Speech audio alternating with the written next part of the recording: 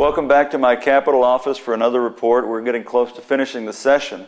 Uh, today is uh, the day before the last day of session. Tomorrow is, is sine die. Uh, I want to report on something that's been going on here that, uh, if you've read the newspapers, you've probably read about something that is uh, it is extremely disturbing, uh, disappointing, disheartening, all of those words and more.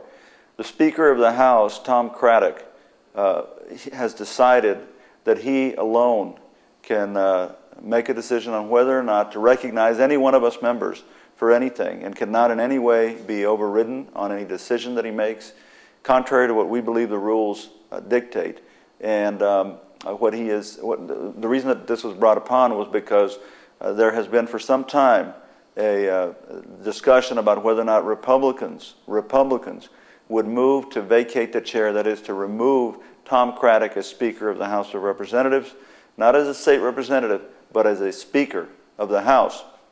Several committee chairs, Republicans who were appointed by Mr. Craddick, have now publicly come out in opposition to his leadership, in opposition to his heavy handedness, in opposition to essentially the corruption that he, that he uh, epitomizes, and made a motion. One of the most senior Republicans made a motion uh, in accordance with the House rules to allow us as a member, as, a House of Representatives to decide whether or not we want to continue having Mr. Craddick as Speaker and Mr. Craddick.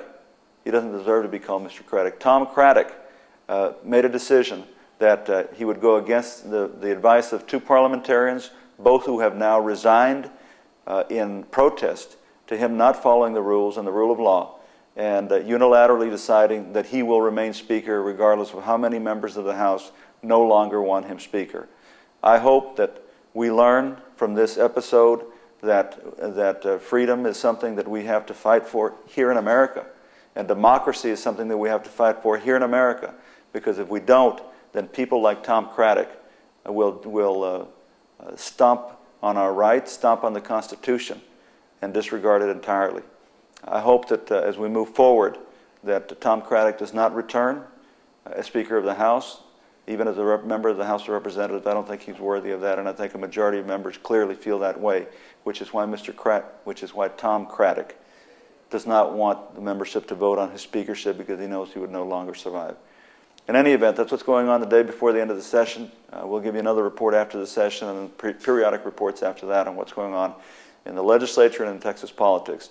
Thanks for dropping by, and we'll talk to you soon.